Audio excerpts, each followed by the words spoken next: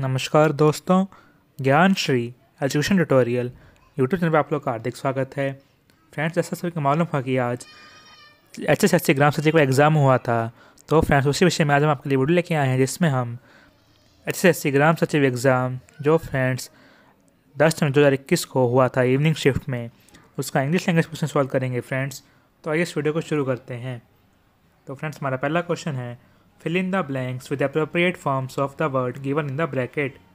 और हमारे पास सेंटेंस है friends users complain about the dash of war games और जो फ्रेंड्स ब्रैकेट में हमें वर्ड गिवन है, वो है आर्टिफिशियल तो ऑप्शंस देखते हैं फ्रेंड्स ऑप्शन वन है artificially option B artifice option C artificial या ऑप्शन डी आर्टिफिशियलिटी तो फ्रेंड्स राइट आंसर जो है इसका वो है option number D artificiality users complain about the artificiality of war games option D right answer है। अगला क्वेश्चन देखते हैं।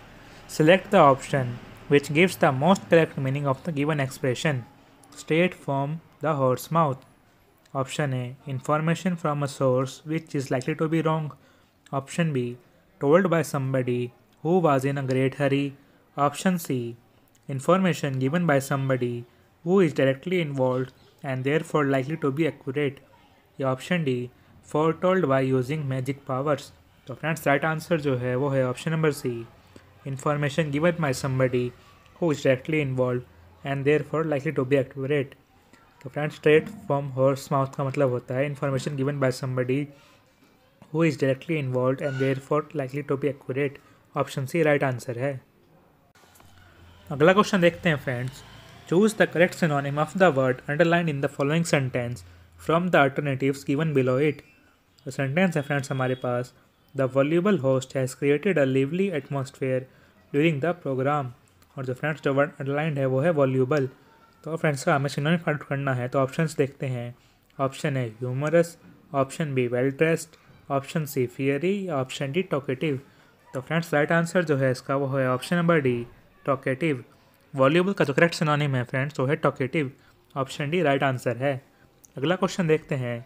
Choose the correct preposition Satish reminded him dash his promise but he was quite indifferent to what Satish said option A on option B to option C of या option D for तो friends right answer जो है इसका वो है option number C of Satish reminded him of his promise but he was quite indifferent to what Satish said option C right answer है friends next question देखिए.